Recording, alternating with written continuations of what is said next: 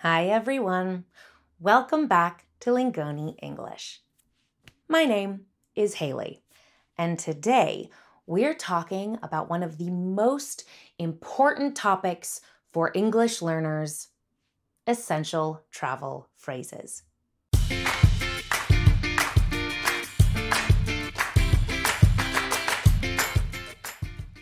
Whether you're traveling for business or pleasure, these phrases will help you navigate airports, hotels, restaurants, and more. And as always, if you want to practice even more travel English, check out our app for tailored lessons and exercises. Let's start at the airport. You'll need to ask questions like Where is the check in counter? Uh, what time does my flight leave? And can I have a window seat, please? Next, let's talk about restaurants. Knowing how to order food is essential. Use phrases like this Can I see the menu, please? I'd like the pasta with tomato sauce. Um, could I have the bill, please? Asking for directions is another must know skill.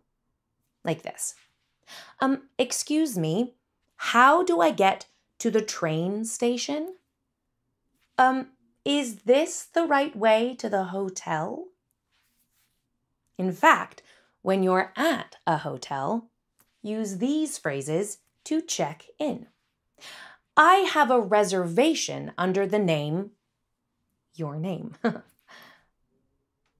Could I have an extra towel, please?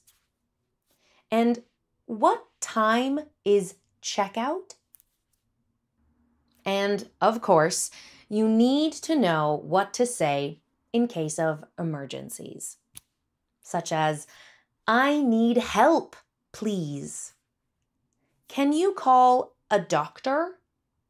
And where is the nearest hospital? In conclusion, those are some of the most essential phrases for traveling in English speaking countries. But if you want to practice more, the Lingoni English app has lessons specifically designed for travelers. So be sure to check it out before your next trip. Safe travels!